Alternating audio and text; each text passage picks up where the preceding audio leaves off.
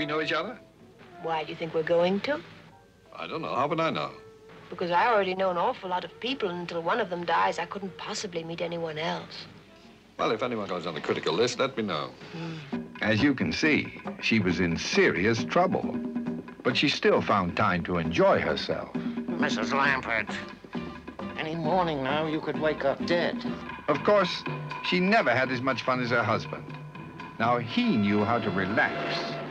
You see, it all began when he got off the train.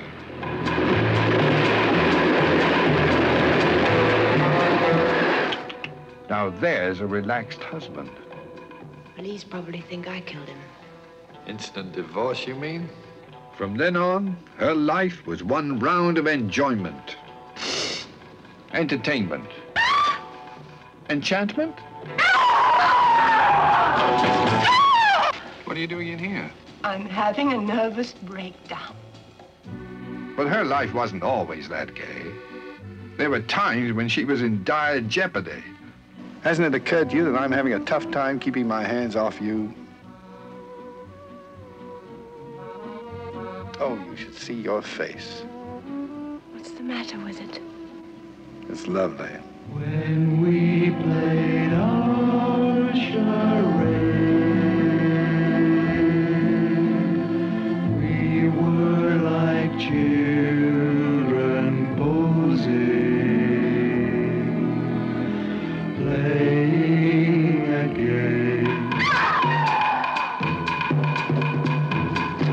Reggie?